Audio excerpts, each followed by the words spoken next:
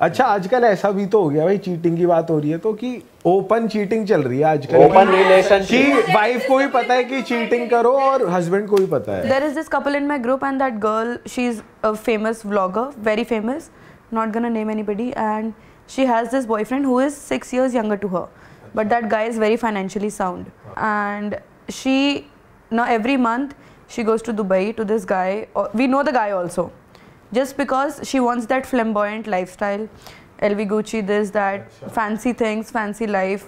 And this guy is, is rich, but he's younger to you, six years. He's 22, she's 28.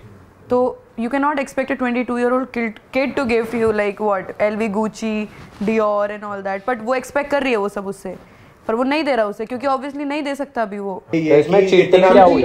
Cheating ये है कि नहीं open cheating open cheating मैं बता रही हूँ। अब जब वो दुबई होती है हाँ अब जब वो दुबई होती है उसके हमारे सामने उसका बॉयफ्रेंड